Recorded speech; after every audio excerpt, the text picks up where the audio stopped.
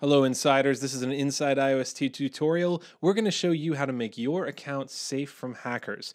That's so even if someone gets the private key you're using, you can still save most of your funds from being stolen. We're going to use Token Pocket for this, and it's the only way I know of so far other than command line to do this, so I recommend you use Token Pocket. We here recommend you use Token Pocket as a wallet. So I've opened Token Pocket. You see I have a little bit of IOST here, and right over here, it, you can see it says Frozen 1000. Well, those are all staked. Some of them are staked to resources. I can tap resources and see that I've got things staked to RAM and gas. And then some of them are staked to voting. I've voted for a node here, so I've got some IOST staked there.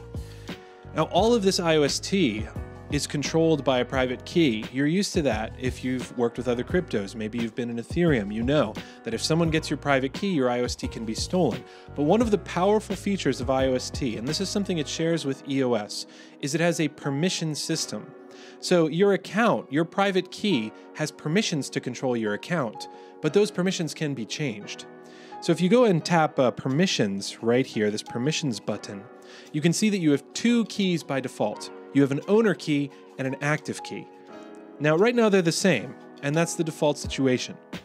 But you can set it up so that they're different. You can keep your owner key safe, and then if anyone gets your active key and tries to unstake this IOST you have, so that seven days later they can sell it, you can kick them out by using your owner key to change your active key because the owner key is like the boss of the active key. If you've ever driven in one of those cars where there's a driving instructor helping you out and they have their own brake pedal to stop the car in case you're a maniac and you know you don't know how to use a car or your foot slips and you hit the accelerator really hard. That instructor isn't really driving the car there, but they're there as a backup if needed to take control. We have the same situation with flight instructors, right? And normal planes, when the co pilot's flying and the pilot's not flying, there's another set of controls so that if something happens to the co-pilot or the student, maybe they get shot, or maybe they they have a seizure, or maybe they just I don't know, they do something weird with the controls, they panic, whatever. Anything happens, the other person in the cockpit can take control of the plane and save the day.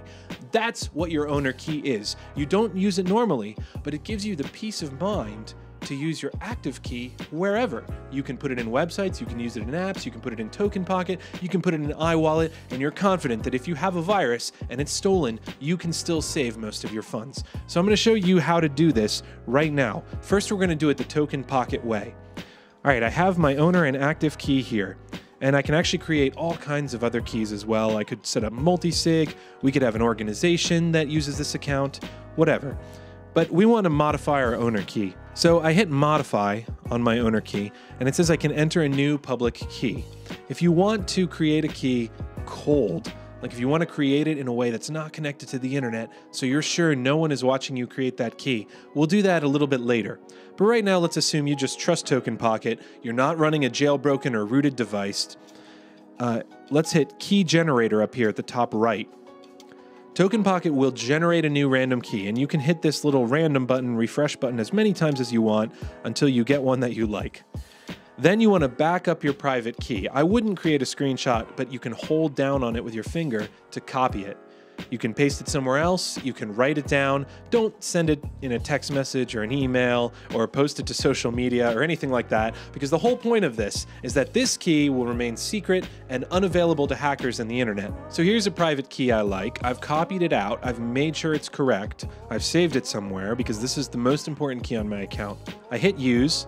It asks me to confirm that I've backed up. I hit confirm, and now I have to hit confirm again. Don't hit back.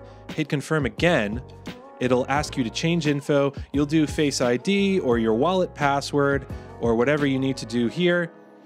The transaction goes through, and now you can see I have a different owner key. Now, the active key can do basically anything with my account. It can stake, unstake, vote, use dApps, it can send, it can receive, whatever. The owner key can do all those things too, but the owner key has permission to change the active key. So let's say a hacker now gets my active key the hacker can try to unstake this 1000 frozen IOST in order to spend it later. And if I see that happening, I can go in with my owner key and create a new active key and kick the attacker out. The attacker might even try to change my current active key. You know, he might try to change keys, but he can't take control of this staked IOST. As long as I keep the bulk of my IOST stake, I use it to vote for nodes and get resources. And I keep a different owner key safe, then I can keep my account safe from hackers even if they get the private key I'm using. Now, maybe you uh, don't necessarily trust your phone or token pocket or whatever to not be snooping when you create an owner key. In that case, you can even hop on the computer. You can uh, go to iWallet on your computer. You have to install this Go programming language first. And then once you do,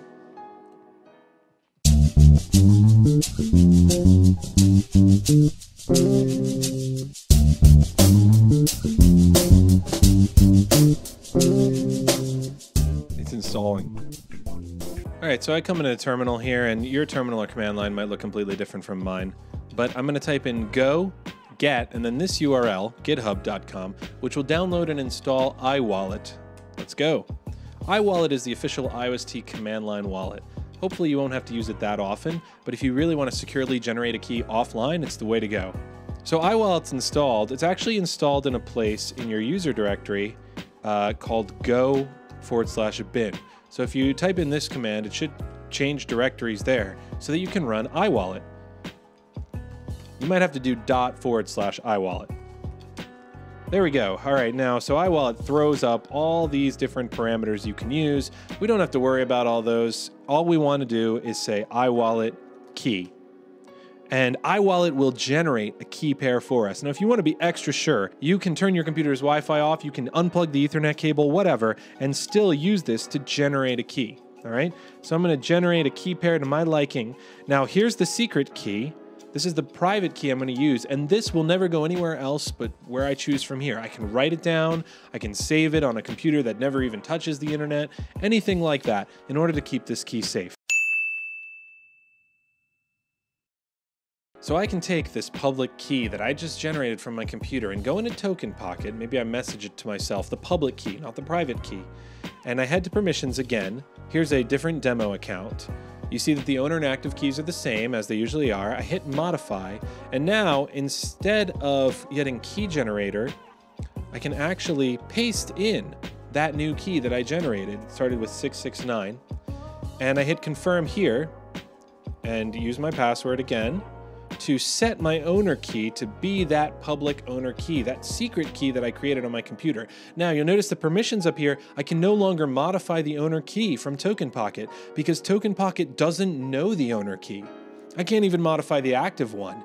Token Pocket, I can use my apps, I can send IOST, but I can't change these keys anymore because the owner private key isn't known by Token Pocket. It's just known by me. And so if anyone tries to get in, they get my active key somehow, maybe there's a malicious DApp or I'm phished and I put my key in the wrong place, and I see some suspicious activity on my account. Maybe someone is unstaking all my votes and I wasn't aware of it, or someone's actually transferred out the unstaked IOST, which is a small portion, then I can go in, enter my owner key in a Token Pocket, and kick the active key that's compromised out and institute a new active key to secure my account.